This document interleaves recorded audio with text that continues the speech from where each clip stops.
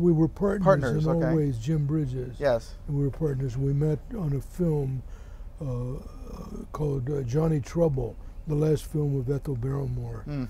and uh, and we met and and uh, we became friends, and then eventually we. Uh, uh,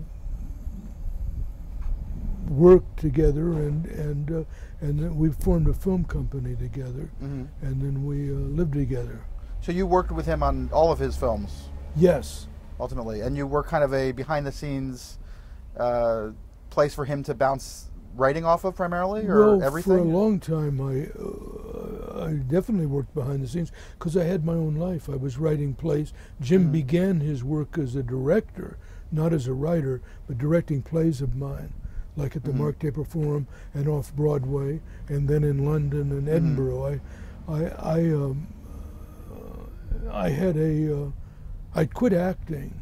hmm Once I became well known as Jimmy Olsen, and, uh, and uh, well, more than that, I mean, Yeah. it was a it was a rage.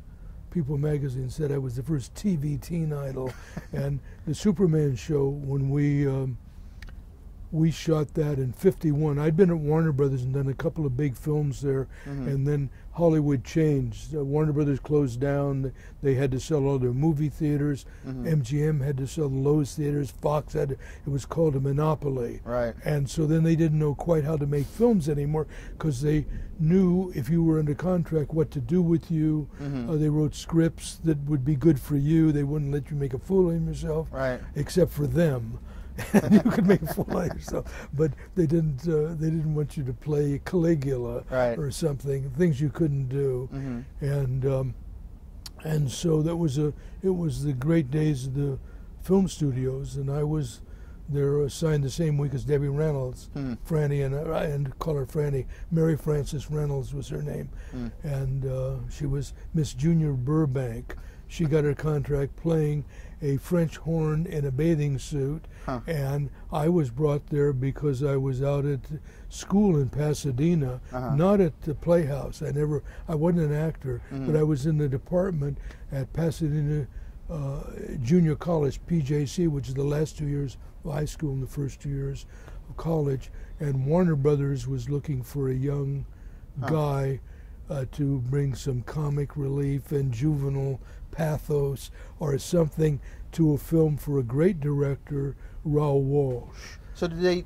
Did you know that you had any interest in this, or did they? Did you look? Did you look right? What was it that they saw in you? Well, I didn't know really what I was in. I was interested in writing. Uh huh. and uh, I had gone to school. I was uh, raised my um, third generation Angelino. Mm. My grandfather came here from Sweden Hmm. and made shoes, and my mom and dad and er- er- everybody, both sides of it, they grew, everybody grew up here in Los Angeles, Mhm. in the eastern part near Montebello, hmm and. Um, and I was the only child, and my mom and dad were divorced, Hmm. and I was not doing well in school, Hmm. in high school. Exclamation point! I wasn't distracted, going. or you weren't just. I going? wasn't going. was the thing, and my dad was So- a jock and a uh, a bowler, classic league Uh-huh. Wow. workman's bowler, and I was raised around a bowling alley. When they divorced, I continued to go in the bowling alley, Uh-huh. and I was uh, it was a factory area, and they used to have uh, uh, pot games across twenty uh, lanes Mhm. at this bowling alley at Wheeler and Atlantic, Huh. and I'd gotten a lot of press as a kid kegler. Huh. Uh, in the Herald Examiner, they'd written articles. I Uh-huh. was a, a really good, really hot young, but I uh, played with a 12 pound ball Uh huh. and uh, the pin boys were all my friends. So another kid and I used to go there in the mornings Uh-huh. when the, uh, uh, the swing shifts at the factories, Mhm. U.S. Goodrich and uh, all these factories, and they would in the mornings do these pot games. And Uh-huh. Kenny was the other kid. We could, of course, uh, r- shoot rings around them. Mhm. We were like pool hustlers, and so. You were bowling hustlers. Yeah, we were bowling hustlers, and they would. And uh, this was in the days where there were pin boys. Uh-huh. We're talking here long ago, Yeah. and pin boys can help out your game a lot. The way they hold their feet Huh. when like uh, uh, when they if you're if you get a if a ten pin is standing, Uh-huh. but the one pin they if they, they can kick it so the ten pin goes down. Let's put it that way. They're kind of in the dark, Uh-huh. and so we were winning these. Uh, uh, these games, you know, pot games, and making money, and I wasn't going to Mm-hmm. Huh. school. I'll cost twenty, you know, leagues, Uh-huh. and Kenny and I would split. He would win one time, and I would win another time. And my dad got wind of this and came over and said, "What the hell do you think you're doing? You're flunking everything. You're not doing this." And we Uh-huh. got into a horrible uh, uh, problem. But something had happened that made my head swell. MGM was looking for uh, a kind of kids to be in a big uh, uh, sports short Huh. with the two greatest bowlers, Ned Day and Hank Marino. They were world champions, Mhm. and they settled on Kenny and me Huh. to be in this thing. And these great champions would bowl, and then we were kids. So they asked us to be in the sports short, MGM Uh-huh. sports short. So Kenny and I are in the sports short. It played downtown Los Angeles with a Red Skelton film, Mhm. and it went to my head Mm. and Kenny's head. I must say, suddenly you're on a big screen. But we were bowlers. We were kid. We called it kid keglers. So when my dad said, "How do you think you're going to earn a living? You're good." He was a truck driver. You're going to break your back like me, Mm. or you or you're going to go to school and get an education and, Right. and be on a job. And I said, "I'm in a bowl. I'm in films. I'm on the screen at the RKO Theater." And uh, I said, "I'm in a bowl," and he said, "The hell you are." and um, and so he and my mother uh, brought me to my senses, and it turned out that at Pasadena, the University of Chicago, Uh-huh. was running a program was for returned veterans who hadn't uh, finished high school but Uh-huh. wanted to do the GI Bill of Rights, and they had to finish high school. Mhm. So there's a special program which they enlarged in Pasadena Uh-huh. for young people with good IQs who were flunking everything at school. and I was one of You them. fit. And, and I got to go so suddenly, and my dad said, to get, you get your butt over there Uh-huh. to Pasadena, and you're going to go to school, and you're going to learn something. And, uh, and so I got to go to this highly Mm-hmm. uh, uh, observed uh, school Right. for they tested you. I mean, it was Uh-huh. endless tests, things like that, and it was found that I had a talent for writing, Mhm. uh, the English department for theater, et cetera, et cetera. And was interested in history. That was the only thing I was really interested in was history. And so I got in the theater department, Uh-huh. and they cast me in a production of As You Like It as Mhm. the. Uh, uh, the, uh, the when they were, I can do the lines, but I can't remember the character's name. Uh, right, the jester. Right. You know, if a hart do lack a hind, let him seek out Rosalind.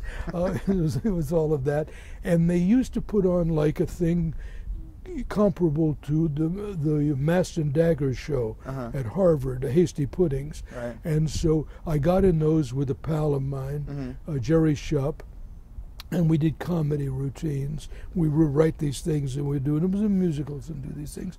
And talent scouts started to come over to the school. They heard about me, so I had something going. I can't tell you what it was. So you went from bowling to comedy to I was in school. Yeah, in school, and Wow. uh, and so and I wrote these uh, skits and did these things and did plays. I did the production of Charley's Aunt over there, and and it wasn't under Warner Brothers that came. Uh, uh, Al Trescony from MGM came, uh, the talent scout and test director from 20th Century Fox, Craig Noel, who established the Globe, Globe Theater. Huh. He left Fox to do that. Uh-huh. Came, and everybody uh, was interested in me, Hmm. which was very nice. And uh, but So you didn't really think of yourself as an actor at that point. Yeah, well, I was acting, but I wasn't thinking of myself Yeah. as an actor. I thought that what I would probably like to be was a newspaper man. Uh-huh. To tell you the truth, I got in, and I was writing for So the, writing was exciting to you at that yeah, point. I, w- the- I had a gift for writing and the crime, and I wrote plays Uh-huh. there at school, which I which I acted in, and other people acted in, and so what happened was uh, the 20th Century Fox uh, man brought me over to Fox, and they said there's a good. It has a scene and a half in a film with. Uh, uh, the star, whose name was Lon McCallister, and go Scudda Hoo Scudda Hay, and I met everybody, and they said, "You want to do this? You can do it if Uh-huh. you with parents' permission." So they said yes. Well, I didn't get that part, but I went over and you know read for everybody, Uh-huh. and and which is a real joke. Marilyn Monroe got that part. It was her first part. Marilyn Monroe. Uh, we wonder how she got it. There you go. Hmm. but they changed it from a boy on a bicycle to a girl on a bicycle. Hmm. And Marilyn Monroe did that. And shortly thereafter, uh, I was in a show, uh, like it was called a Master and Dagger show. Uh-huh. Uh, uh, and uh, Warner Brothers later turned out to be head of casting. He Right. showed up, Huh. and and he said uh, that uh, uh, we should call my mom and dad, and I should call. They were looking for somebody, and I seemed to be right for it. Uh-huh. If I was interested in films, call him at Warner Brothers, and I went over to Warner Brothers and did this comedy skit I did. It was called Dr. Jekyll and Mr. Hyde. I can't tell you, and do it. And uh, I did it over there at Warner Brothers, and he took me to see their greatest director, Raoul Walsh, Mm. and he said, he said, uh, do this, do your Dr. Jekyll and Mr. Walsh for Mr. Walsh, who fell off his chair laughing, and uh, and so then they wanted to test me for this major film, Fighter Squadron, Mhm. with a great star, uh, Edmund O'Brien, and their greatest director, Raoul Walsh, and so I tested for it, and I got the part, Hmm. and uh, and I became an actor. I went and and Debbie Reynolds signed that same weekend, Mhm. and uh, and we were kind of kids around Warner Brothers. Was there any perspective at that point as to what? Because it seems like almost like fate took you by the hand and, and Yes. took you through all of this. Yes, fate took me by the hand. It was just it was to happen. I mean, after all, it happened to Lana Turner in Curry's Right. drugstore. Why couldn't it happen to me on the stage in Pasadena?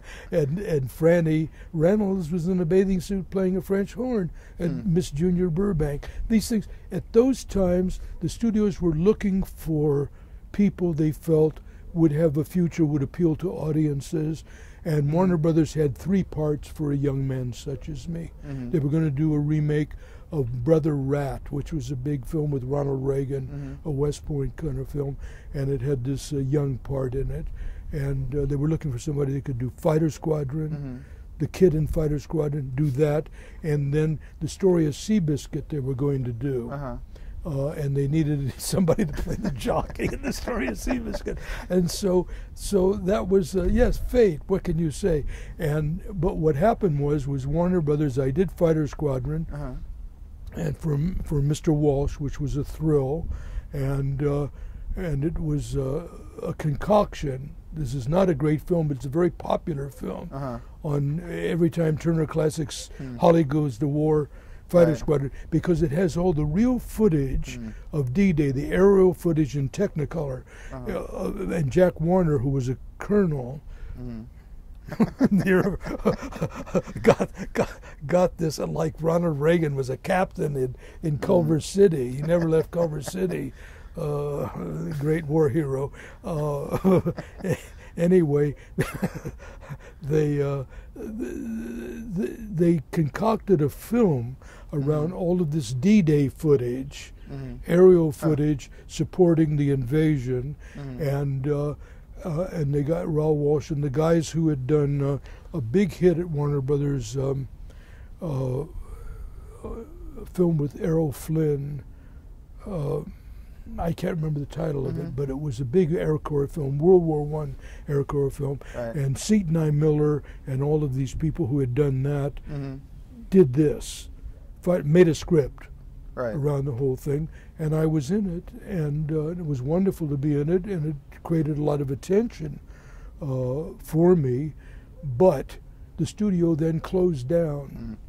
Mhm. They had to sell their theaters and Right. everything, and so in 1950 they they uh, uh, shut the doors. They let everybody, uh, Mhm. contract players. They didn't know how they were going to make films Right. because like they knew that I would do Brother Rat or something in the future. Now they couldn't do that because Right. they didn't know how they'd book them or where they'd book them. Mhm. They'd be in competition. So the story that they said uh, to me and everybody else was uh, like Dorothy Malone, who was a rising star at the Mhm. time there and stuff.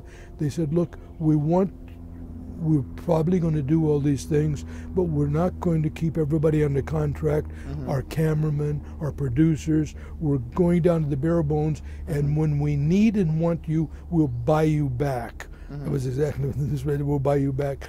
Well, uh, after that, if you're interested, Was that scaring to you at that point? I mean, was that like, did the world seem like it was coming to an end in town, or was it just another bump in the industry at that point? Well, I was an actor by that point, Right. and I'd seriously studied acting. I mean, I hadn't been, but I studied with Right. Michael Chekhov. I was part of his group with with great actors and such in town. He'd been head of the Moscow Art Theater, the second Moscow Art Theater, and I anyway.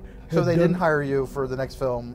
Then you might have gone off and done theater or done something What's else. What's going to happen? What happened to me was, um, I unwisely did a live television show because you were considered the enemy if Uh-huh. you did live television at that time. Uh-huh. You know, against because uh, films were afraid of television. Right. Milton Berle. After all, when Milton Berle was on the air on Wednesday nights, Uh-huh. theaters across the country closed down because everybody was home Mm-hmm. watching Milton Berle. He was that great a star. Uh, I did a, a, a show for uh, ABC called Country Editor with Edgar Buchanan. I played his copy boy. Was a country editor and uh, enjoyed it like mad. Uh, the, all of this. It wasn't smart. Uh-huh. But anyway, I did that.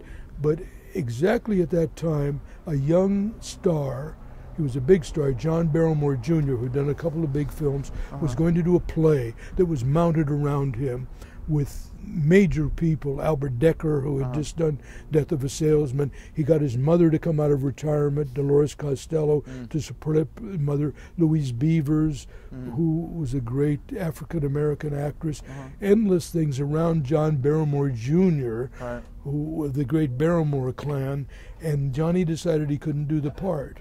That people would throw tomatoes and say you're no actor, you're no Barrymore on opening night, mm. and he got complete cold feet. Mm-hmm. And for some reason, I don't know how, I got my agent got a call and said, "Would Jack be hmm. interested in being on the stage, go meet these people?" And I didn't read for it, and they offered me the part. And so suddenly I'm with these great actors on the hmm. stage doing this original play called The Great Man. Hmm.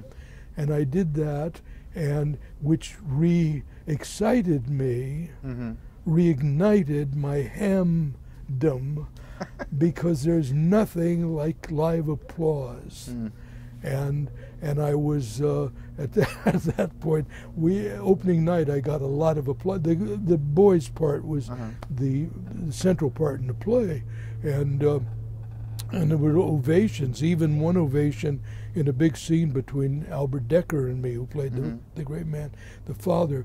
And so at that point, I thought, what I've got to do Mm-hmm. is go to Broadway. I, I don't want another stock contract to the Right. studio. I don't want any of this kind of stuff. I want to get to New York.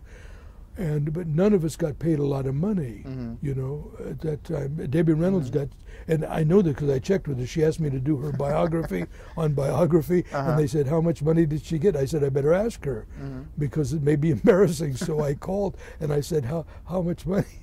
Did you get? I know what I got. I got 125 a week, and and I said, but they've just asked me. Do you want me to say what you got? Right. And that was only 40 weeks out of the year. You were 12 weeks later.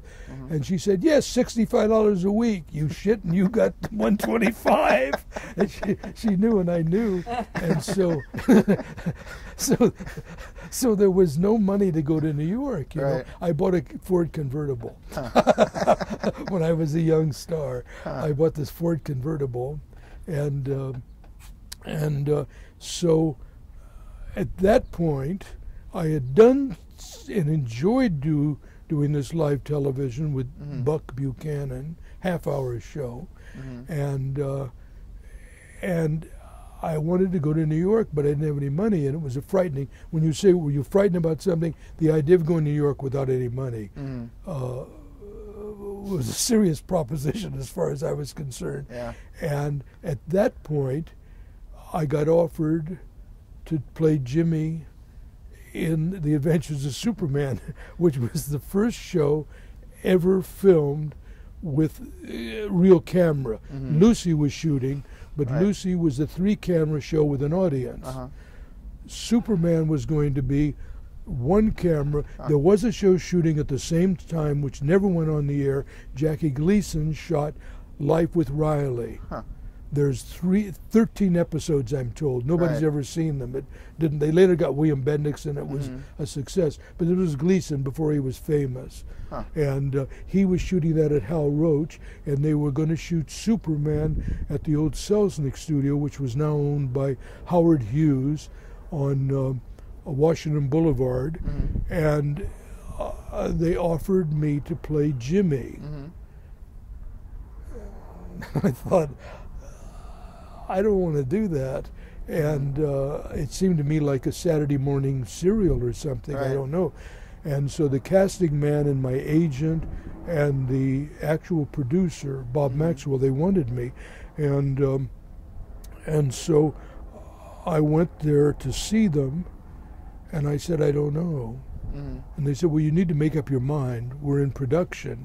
They were shooting a uh, a film of it, Uh-huh. a B film of Superman, and then they were going to shoot 26 half-hour shows financed by National Comics DC themselves. They were Mhm. financing the whole thing, and the man was producing it, who'd done the radio show, Bob Maxwell. And they said, "You need to make up your mind." Mhm. And and everybody everybody said to me, including agent, said, "Look, kid, you're crazy." You're very mixed up. You want to go to New York. You don't have money to go to New York. You don't want another stock contract like Right. at Fox, which was possible. Uh-huh. You don't want that. You want to go to New York. You do this, and you'll have enough money. It's 26 shows. You'll Mhm. have enough money to go to New York, and probably no one will ever see it.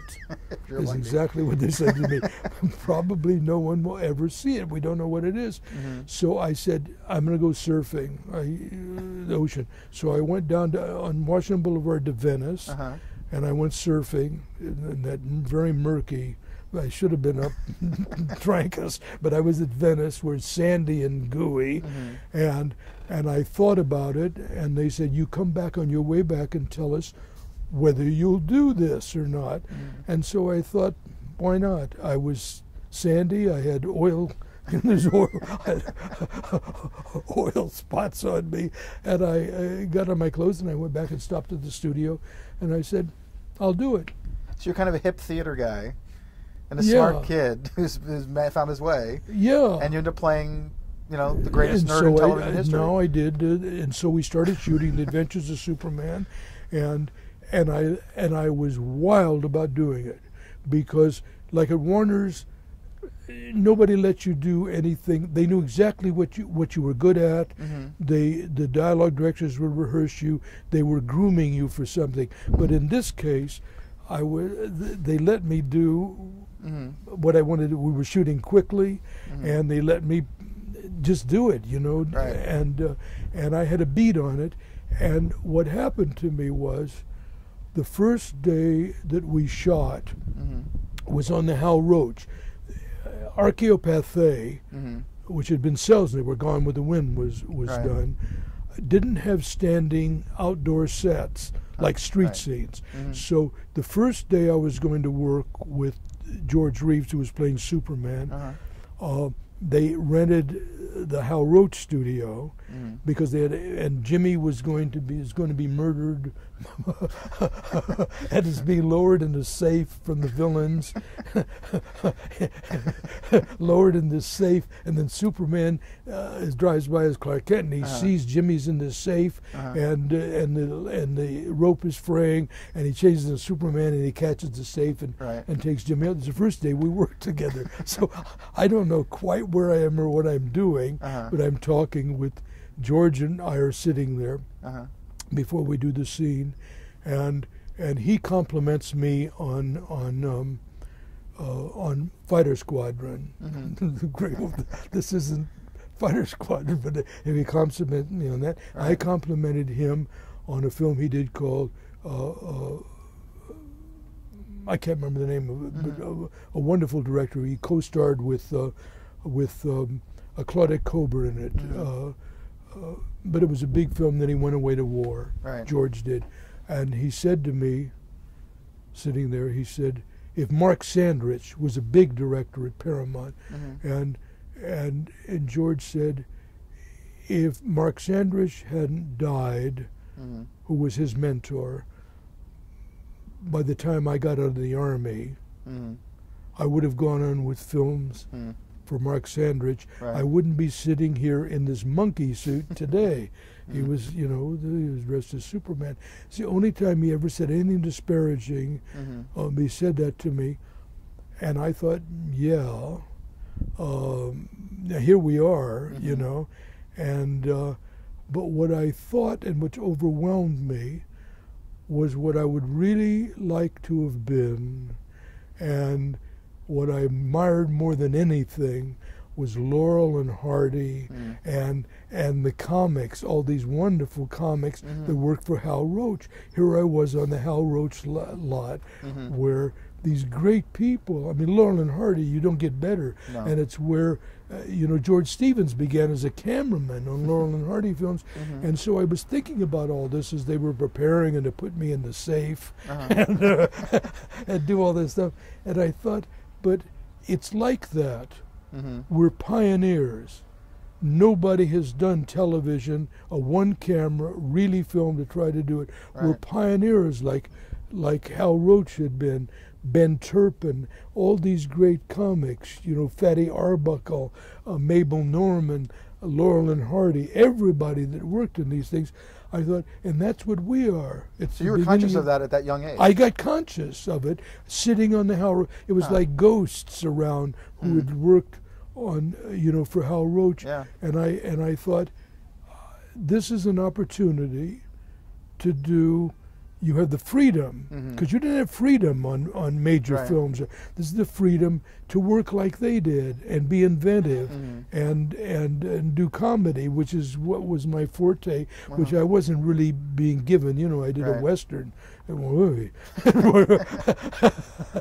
Star of Texas. Anyway, uh, it was just this wonderful uh, thing that came over me, and I thought, with that, that was the first scene we shot, and I thought, all of these 26 shows, Mhm. I'm going to do the best possible work I can. Mhm. I'm going to be as inventive.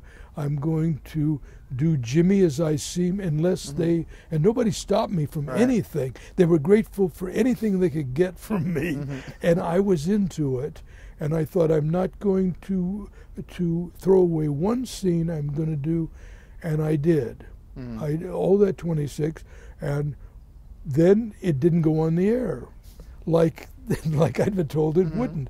But I had when I'm in New York in 1953, Uh-huh.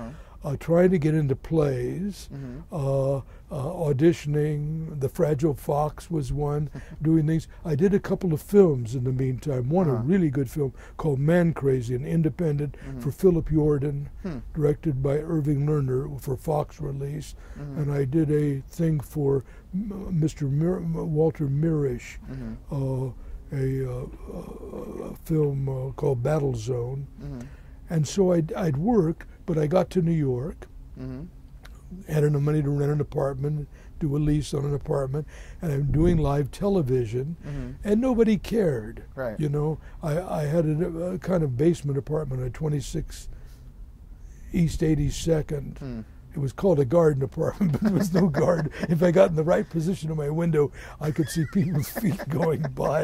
It was very dark. Uh-huh. And uh, but anyway, I was uh, doing live television. Did a w- wonderful show for CBS um, uh, with Priscilla uh, Kirk uh, and Lord Lloyd. Uh, I'm going to forget his name. Lorne Greene. Mm. It was his first. He later came out. Did, Right. It was the first thing he did in New York. We Huh. did this three-character show for uh, on Sunday night um, for uh, uh, CBS Right. and canned cigarettes. But nobody. You're in New York and you're doing that. Now, in October of '53, Mhm. the Superman show went on the air, and and it instantly became the second most popular. There was Lucy, then there was Uh-huh. Superman, and within a month, Mhm. I couldn't take the bus anymore. I couldn't take the subway. I couldn't walk down Madison Avenue Mm-hmm. without cab cabbies yelling me, "Hey, Jimmy, where's your pal with the cape?" I was suddenly Jimmy Olsen, Mm-hmm. and that happened um, instantly with Superman. And I got typed, Mm-hmm. and I, I went on with acting and did whatever I could get. Right. But at that time, if you were famous on a show, Right. now if you were famous like that with, uh, with Hot or something, with people I work with, Right. like Michael J. Fox, you get to star in a film. Mhm. They see if you'll work, if anybody Yeah. will come. But at that time, you were really, really like blacklisted. They didn't want to hire anybody. Milton Berle made a film and nobody came. It's called Always Leave Them Laughing. They just left him. So did they do more episodes? Oh yes. kept on shooting. Oh, we did. We did it until 1959. So when did you meet Jim in all of this? Jim, Mm-hmm. I met Jim in 1956. In New York or L.A.? No, no, I was doing this film. It's a Warner Brothers release Mhm. uh, called Johnny Trouble, Mhm. uh, the last film with Ethel Barrymore, Right. who was a great star, and I had one of the leads in it with Stuart Whitman uh, and uh, Cecil Kellaway and uh, Carolyn Jones, who was nominated at that time. So this is before they realized you were Jimmy, or before you had become famous for. No, Jimmy? no, I was I was already Jimmy. You're just already Jimmy. the Warner's was nice to me, uh huh. and I got to do that. And uh, Jim was on that film. hmm So was your He had a running part on the film. was your private life a an issue for somebody as famous as you were under those circumstances? Well, since I never did publicity, the, the, there was no issue whatsoever Mm-hmm. uh, because I decided very, and I didn't have that much of a private life. Mm-hmm. I mean, uh, uh, I wouldn't. You work hard, and, and in my case, uh, uh, in New York, I'd been living with a girl who later, Mhm. uh, Kathy Nolan, who did Wendy and Peter Pan with Mary Martin on Broadway. Kathy and I Uh-huh. lived together and actually moved here together. Huh. We split up just before Johnny Trouble, and I had I didn't. I mean, if you're asking me a personal question, I from the time I was quite young, I always knew I liked girls and I liked guys, Uh-huh. and but I never thought. And I had a wonderful family. I don't know what they thought. I don't think they thought anything. Right. They loved me. No, it, was, it wasn't really the personal question as much as the the way the industry perceived whether this was an issue. I mean, it seems like they control publicity much more effectively yeah, back well, then. no, nobody. Well, now in my life, you couldn't get away with it. Uh, I I didn't have uh, right away. The only thing I'd ever done when Fighter Squadron came out, Hedda Hopper did a thing on me, hmm which is a whole other story. Mhm. She did a piece on me uh, Ah. as the boy next door, you know, kind of thing. Mhm. But other than that, you didn't, unless you became a star, you weren't doing publicity. There were things. With Superman, when it became big like Mhm. that, and I became Jimmy, I thought this is the end of my acting career. Mhm. I was right. Uh, I I thought any publicity I do, Mhm. On- and on for Superman It's great for Kellogg's, who are our sponsors. Right. It's great for them, but it's a nail in my coffin Mm. as an actor. And I was I became a very serious actor. I did, com- but I Mhm. was doing interesting things, and uh, uh, and so I never once. You can look it up or or uh, Mickey Cottrell can look. You won't find one interview. Uh-huh. You won't Wow. find anything. The only thing that was ever in a magazine about me was that my best, my closest friend from the early days was the wonderful actress and star Leslie Caron. Mhm. And Leslie and I were close and still are each other's closest people that she lives in Paris and I live in Los Angeles and I don't I'm never flying to Paris again. You've had it with that. forget I'm never going I'm never getting on the plane again and and so the only thing uh, uh, what was her name um, she a columnist that was doing a piece and it's the only time Leslie and I were everywhere together Uh-huh. and she asked me and I said to Leslie I'm embarrassed but she wants just a quote from me because we don't do things like that and I gave her a, Dorothy Kilgallen Mm. And that's the only time that ever in any magazine or Mhm. anything that I ever did any, I never did publicity because I didn't feel it was good for me. I didn't have anything to publicize.